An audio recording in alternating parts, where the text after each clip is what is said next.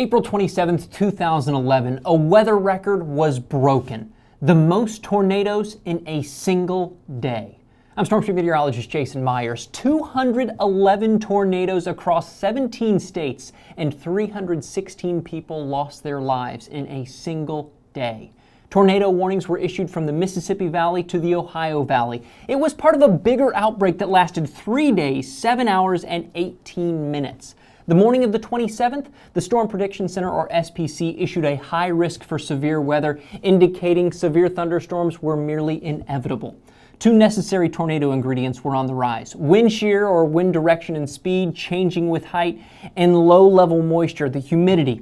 The SPC upped their chance for tornadoes to 45% in the early afternoon. It wasn't much longer after this, the first storms developed across Arkansas and Louisiana and exploded in growth across Mississippi, Tennessee, and Alabama.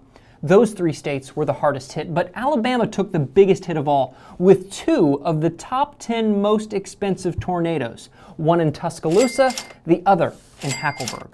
An outbreak like this one doesn't come along very often, maybe once a generation. So let's hope this record of 211 tornadoes in a single day holds its place in the record books for a long, long time.